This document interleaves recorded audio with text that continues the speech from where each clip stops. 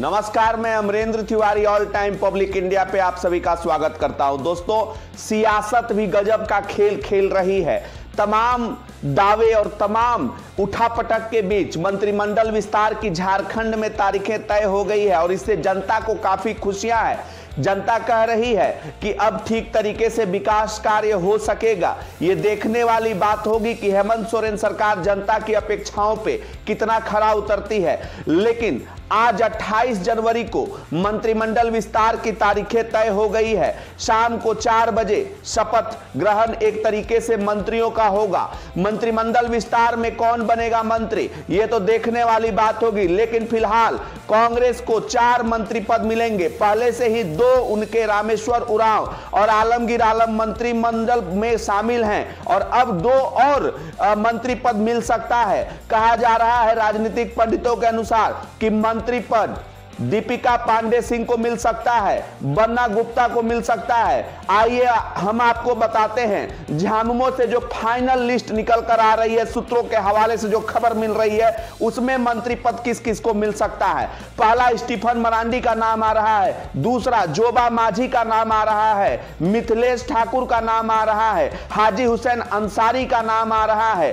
और आ, मैं आपको बता दूँ कि कुछ ऐसे भी लोग हैं जैसे कि कुछ दावेदार ऐसे भी हैं जिसपे कि लगातार सस्पेंस बना हुआ है। ये देखने वाली बात होगी कि चंपई सोरेन और किस तरीके से आ, क्या आदिवासियों के वोट बैंक को अल्पसंख्यकों के वोट बैंक को और बहुजन बहुजन दलित वर्ग के वोट बैंक को किस तरीके से झामुमो साझने में मंत्रिमंडल विस्तार में कामयाब होती है ये देखने वाली बात होगी।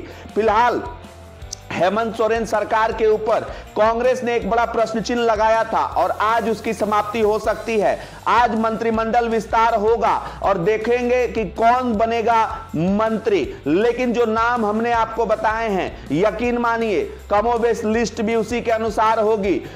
दीपिका पांडे सिंह में जो गुण देख रही है कांग्रेस, एक तरीके से उन्होंने महागामा में जो आंदोलन से निकली हुई आंदोलन के, आंदोलन लगातार वो करती रही थी, उसके बाद मंत्री पद, उनको मिलना महिला के नाम पे, महिला विधायक हैं। कांग्रेस में महिलाओं की अच्छी खासी भागीदारी है।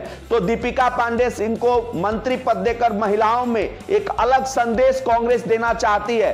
अब ये देखने वाली बात होगी कि कांग्रेस किस तरीके से झारखंड की राजनीति में, जो हाशिए पे एक समय थी, इस बार 16 विधायकों की फौज है और दो विधायकों का और जुड़ाव हो सकता है। बंधु तिर्की पर सस्पेंस नहीं है लेकिन इरफान अंसारी ने प्रदीप यादव को रिजेक्टेड माल बताया है और कांग्रेस में लेने पर धमकी दी है कि कार्यकारी अध्यक्ष पद से वो इस्तीफा दे सकते हैं। कांग्रेस फूक फूक कर कदम रख रही है। गाँव में एक कहावत है दूध का जला हुआ छाछ का जला हुआ आ, एक तरीके से दूध का जला हुआ छाछ भी फूक फूक कर पीता है। यह कहावत गाँव में चलती है तो कांग्रेस को इस वक्त फूक फूक कर कदम रखने की ज़रूरत है। वो इरफान अंसारी को नाराज़ करके अल्पसंख्यकों में गलत संदेश भी नहीं देना चाहेगी। तो फ़िलहाल देखिए मंत्रिमंडल विस्तार जब चार बजे होगा तो कौन बनेगा मंत्री? तब हम फिर से लौटेंगे एक नए वीडियो के साथ। वीडियो अगर अच्छी लगी, एक लाइक दे दीजिए। चैनल पर नए हैं तो चैनल को सब्सक्राइब कर लीजिए। ऑल टाइम पब्लिक इंडिया देखते रहिए। जय हिंद, जय भारत।